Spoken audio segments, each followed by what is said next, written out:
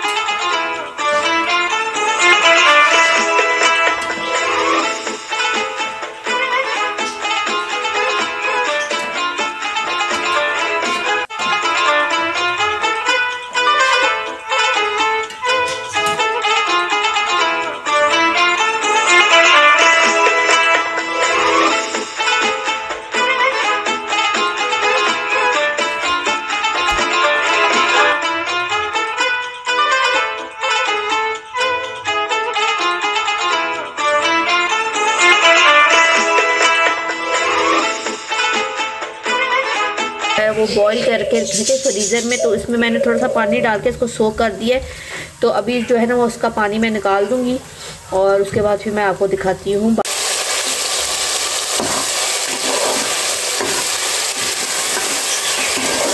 मज़े का लग रहा है ना ये सालन। तो अच्छी तरह से जो है ना, इसको हमने इसकी बुनाई करनी है।